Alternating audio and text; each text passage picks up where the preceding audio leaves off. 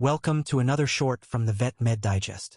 Hyperlipasemia, or increased lipase activity in the blood, is a frequent finding in veterinary critical care, but it is often not the clear indicator of acute pancreatitis we once assumed it to be. Studies reveal that significant DGGR-lipase hyperlipasemia, defined as greater than three times the upper reference limit, occurs in 16% of critically ill dogs upon admission. However, nearly 70% of these dogs are not ultimately diagnosed with acute pancreatitis, suggesting the elevation is often secondary to other systemic issues.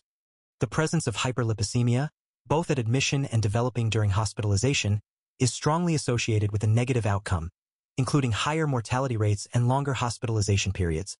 One of the most common non-pancreatic causes identified is kidney disease. In dogs with acute kidney injury, DGGR-lipase activity greater than three times the upper reference limit was present in over 55% of measurements taken during hospitalization.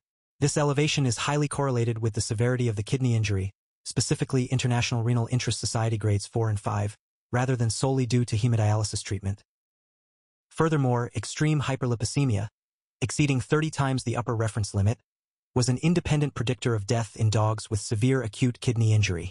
Beyond kidney failure, elevated lipase levels can signal other severe problems. Marked unexplained hyperlipasemia, reaching 11 to 93 times the upper reference limit, has been identified in dogs with malignant pancreatic or hepatic tumors. In one case, an 11-year-old Siberian husky with pancreatic acinar cell carcinoma presented with hyperlipasemia and hyperamylasemia, but both returned to normal following surgical removal of the tumor, suggesting the tumor itself was the source of the excessive enzyme activity. Additionally, zinc toxicosis, often from ingesting objects like pennies, causes acute hyperlipasemia alongside hemolytic anemia, which rapidly resolves upon removing the zinc source.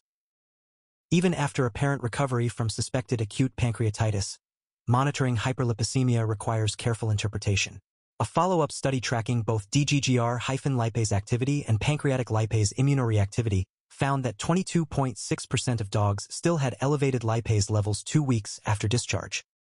Importantly, most of these dogs showed minimal or no clinical signs, suggesting that persistently elevated pancreatic enzyme results may frequently be clinically irrelevant in the absence of ongoing illness. This emphasizes that high lipase activity is often a nonspecific indicator of systemic stress and organ dysfunction, not always a straightforward diagnosis of acute pancreatitis. Thank you for listening. The link for the full podcast is below. Remember to like, share, and subscribe if you enjoy this kind of material. From Vet Med Digest where we keep minds inspired, hearts light, and tails wagging.